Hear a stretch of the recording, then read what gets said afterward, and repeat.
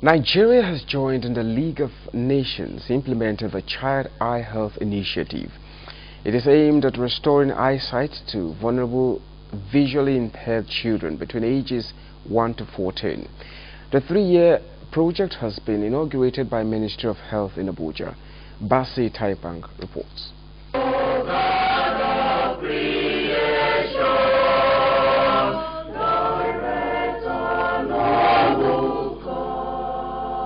These blind children have every reason to sing because their hopes of gaining their sight have never been brighter than now. The Seeing is Believing program in Nigeria aims to reach more than 1.5 million vulnerable vision impaired children before 2020. I'd like to say congratulations to Nigeria on this, to IAPB, to CBM, to Brien Holden Vision Institute, to all our partners and our professional bodies for making this happen through innovations.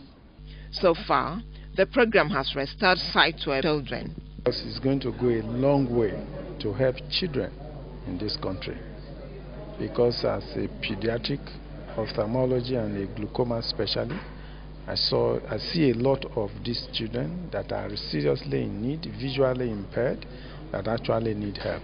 The program is implemented in 11 states of the Federation and in four clusters in the West, North Central, Northeast, and South South geopolitical zones. The uh, program is meant to work through public health facilities, you know, in order to strengthen them to be able to carry on eye health, child eye health services. Many of the children that we're dealing with are excluded from education, and we want to make sure that there is a holistic approach both to their eye health but also to referring them across to inclusive education.